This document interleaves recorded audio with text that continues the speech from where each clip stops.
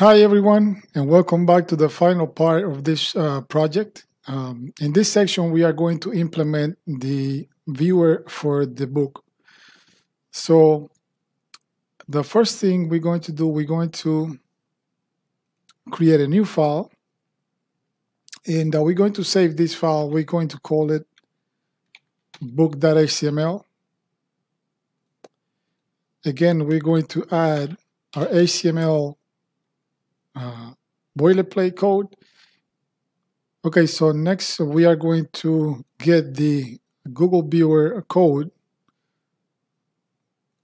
I'm going to copy here, go back into Sublime and paste it. Going to save the page and um, there is not a lot to this section really. Uh, the only thing is that um, um, they have a viewer load method here that it takes an ISBN number. This is the ISBN for the for the book. Notice that this ISBN number contains uh, 10 digits. Um, so if uh, going back into the index.html page, if we take a look at the actually going to the app.js page, um, page, I'm sorry. If you take a look at this section, it's a, uh, a link, it's a tag for a link in which we are passing the viewer URL and uh, which we declare here at the beginning of the method or the function. And then it's pointing to the book.html uh, and we're passing a, a value of ISBN. And this is the book ISBN. And this is where we are going, that's, this is what we are going to pass into the uh, into the URL. So we need to implement, we need to add a few line of codes, actually just a, uh, one line of code into our uh, book.html.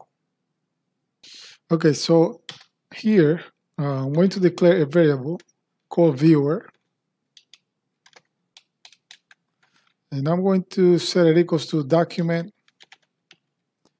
URL index of question mark. So when if when we open uh, this page, we can we find that we have a question mark in the URL. Uh, then we have we are passing uh, arguments into into the page.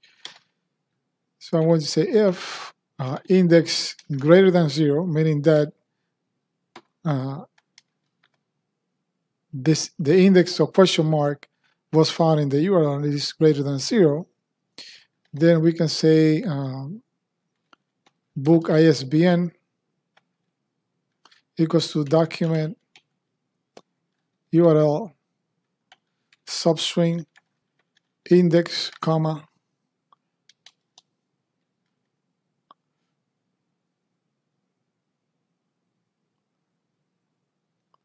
this here should, should have been index. Index comma document uh, URL length. And then we are going to split that using the equals uh, sign. And I'm going to take the first uh, element of the array because the first uh, uh, the, the, the zero element is everything that is before the equal sign and that's not what I'm interested in. Remember the ISBN the ISBN is being passed right after the equal sign. So I'm splitting the array at the equal sign index or point, and then this becomes 0 and this becomes 1.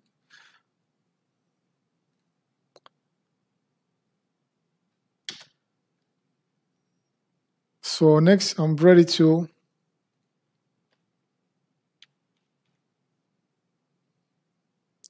say ISBN